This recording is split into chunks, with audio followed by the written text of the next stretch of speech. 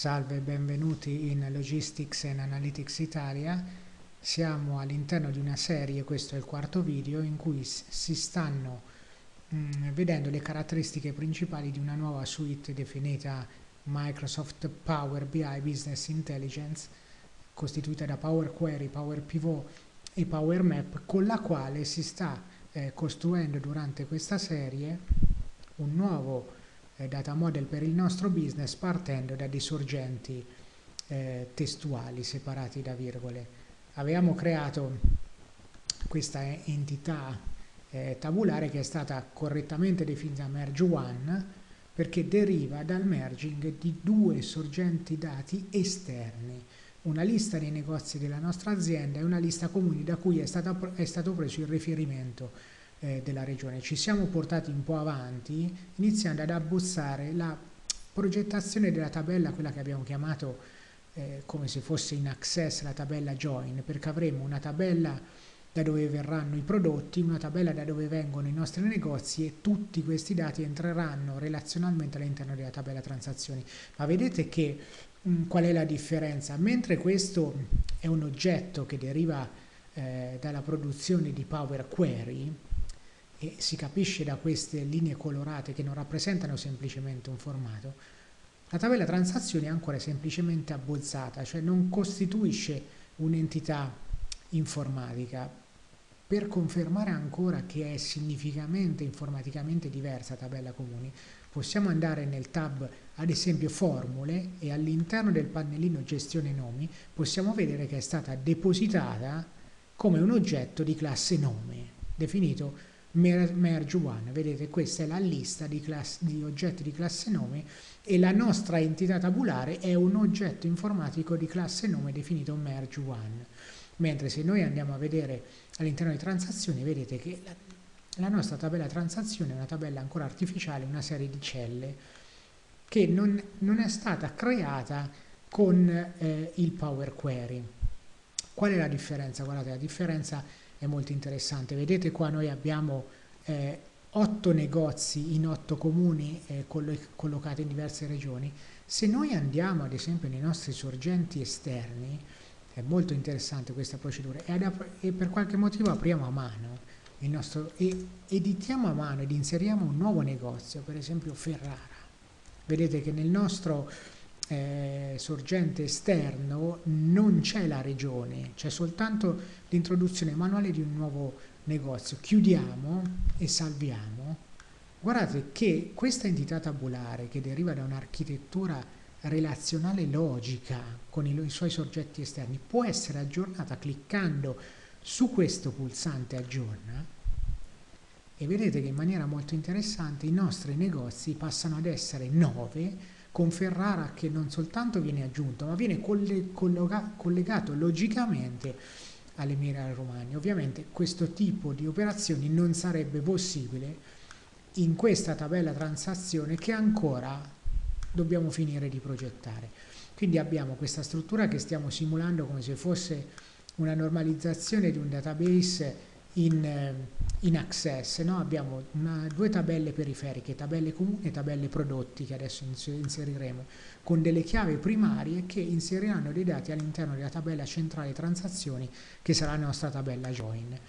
Per inserire la tabella eh, prodotti dal solito da sorgente esterno, come sempre, tab query sezione recupera dati esterni da file di testo perché i nostri sorgenti esterni sono tutti file di testo.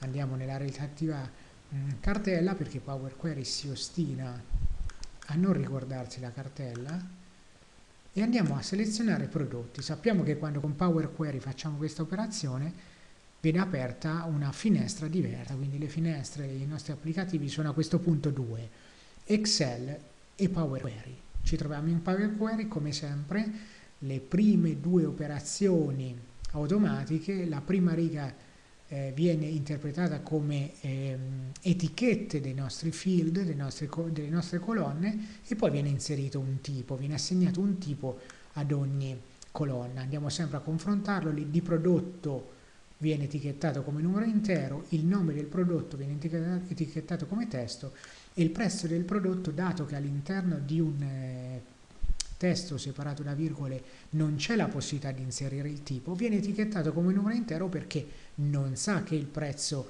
è in euro o in dollari. Eh, la variazione di questo tipo di dato verrà fatta dentro Excel.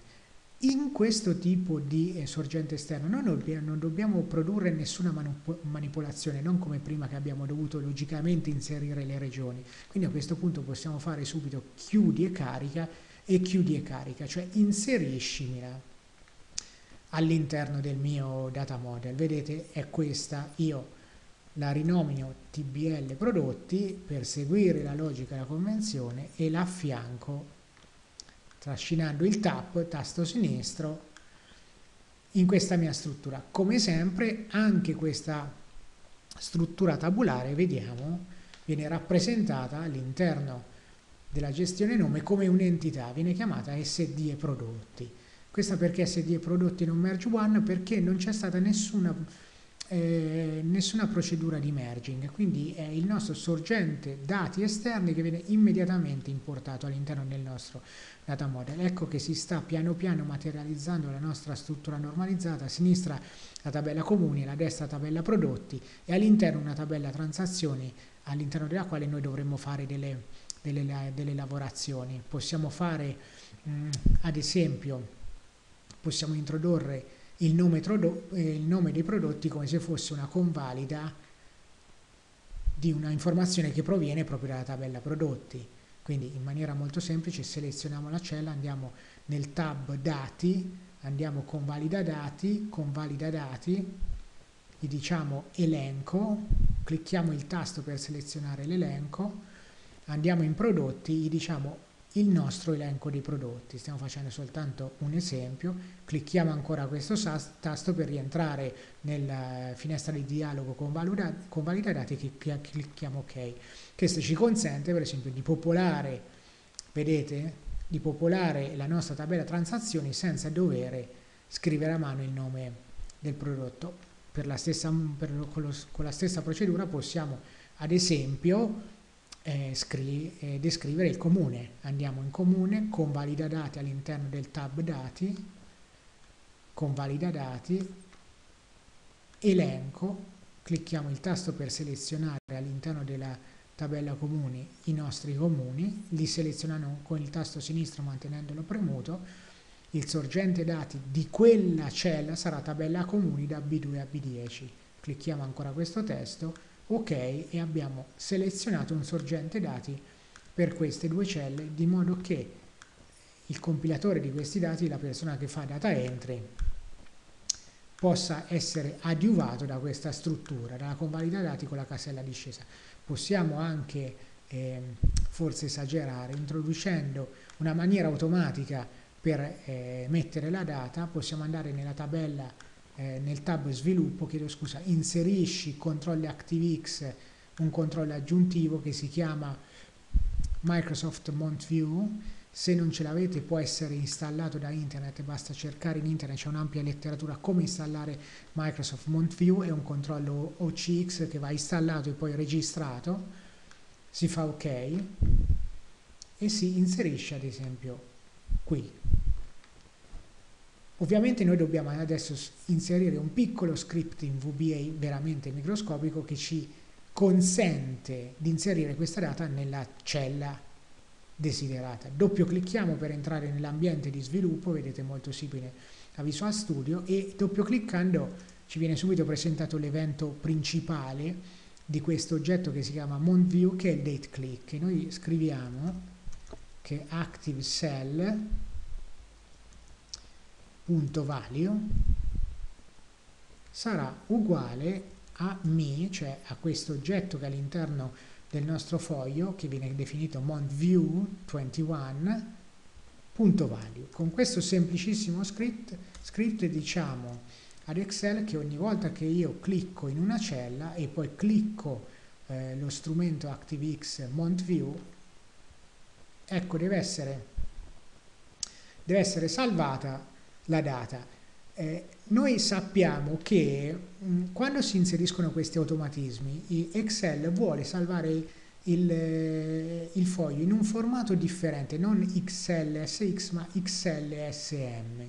lo facciamo, lo faremo poi alla fine, e vediamo che uscendo dalla modalità progettazione, questo è un errore che, eh, di visualizzazione che talora capita, ma vedete che entrando e uscendo dalla visualizzazione non viene più duplicato. Se io mi trovo in questa eh, cella di data transazione, clicco, vedete, viene inserita automaticamente la data. Posso anche cambiarla, questa è una maniera simpatica, questa è una maniera simpatica per inserire, vedete, automaticamente delle date all'interno delle celle. Per il momento eh, questo quarto video finisce qua e poi nei prossimi video completeremo la, la struttura del nostro data model. Grazie eh, per, avermi, per avermi seguito al prossimo video.